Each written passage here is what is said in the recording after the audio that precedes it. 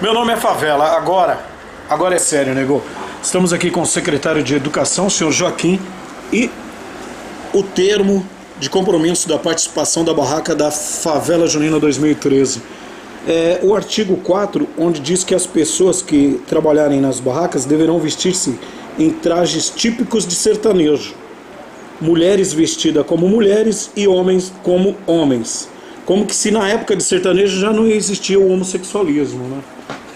Esse é o artigo 4. O que, o senhor tem a nos dizer a respeito disso, secretário? As mulheres vão ser obrigadas a se vestirem como mulheres e homens como homens. Se aquele homem que tiver vontade de se vestir como mulher, ele é punido. Muito obrigado pela oportunidade de divulgar a nossa festa, Gutenberg. A nossa observação num contrato como esse aqui, ela é uma festa, inclusive essa entrevista ocorre por força da nossa função aqui como cultura. Então representamos aqui a cultura. E culturalmente, é assim, mulheres se vestem de mulheres, homens se vestem de, de homens. É apenas cultural. E essa é uma recomendação, esse é um acordo feito entre as partes.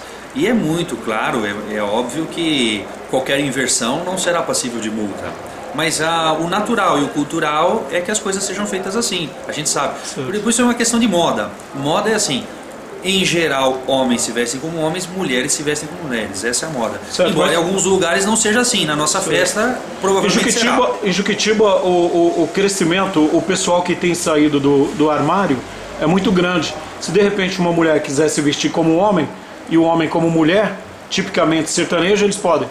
Foi bom você ter lembrado disso, que há poucos dias nós fomos procurados por uma pessoa interessada em fazer uma parada gay em Juquitiba. E aí todas as pessoas são livres para fazerem o que desejarem. E se um dia fizerem, todas as pessoas são livres para se expressarem da forma que desejarem. Por se tratar de um evento cultural, eu repito, uma cláusula como essa, ela prevê aquilo, apenas aquilo que é um acordo entre as partes e que será recomendável, mas não será multado de forma alguma, claro que não. Certo. É, secretário, um, outro artigo que chamou a atenção é o artigo de número 8, onde existe uma multa de 130 reais.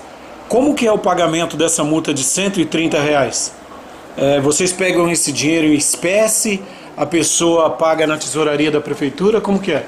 Foi bom você ter falado nisso, Gutenberg, porque primeiro a gente espera não ter que pegar de ninguém, porque a multa seria o descumprimento de um acordo feito entre as partes. E em todas as festas sempre foi pago mesmo em dinheiro. Se foi pego em dinheiro, faz-se a emissão de um recibo e se faz um balanço da festa, prestando conta de tudo aquilo que é recebido. No entanto, dessa vez, como é a nossa primeira festa aqui, dessa nossa gestão, nós vamos buscar uma informação com o nosso departamento jurídico, jurídico, a fim de saber qual é a melhor forma de fazer a entrada desse dinheiro. Mas repito, esperamos não precisar recebê-lo, porque é uma multa, e uma multa é por alguém que não cumpriu. Como nesse momento ocorre uma reunião aqui com aqueles que vão coordenar e usar as barracas, todo mundo está de acordo que vai ser feito tudo conforme está aqui. Esperamos que essa multa não seja necessária. Sim, porque se por um acaso alguém for multado, a gente sabe que esse dinheiro entrou. E para onde esse dinheiro saiu?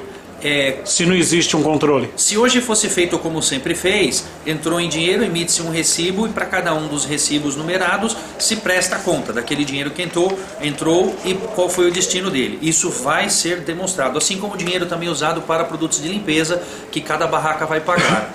Então, Tem senhor... que ter um destino. Então o senhor afirma que antigamente era pego o dinheiro em espécie nas outras gestões? É, esse contrato até, esse acordo entre as partes aqui, como ele é feito, ele é um aproveitamento de contratos em festas anteriores.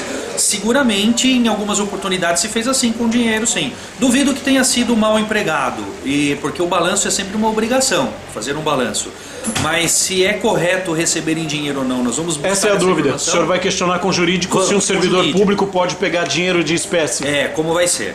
O senhor vai consultar com o jurídico? Vamos consultar. Tudo bem então, secretário, muito obrigado pelas informações. A gente volta para saber muito obrigado, a posição. Obrigado.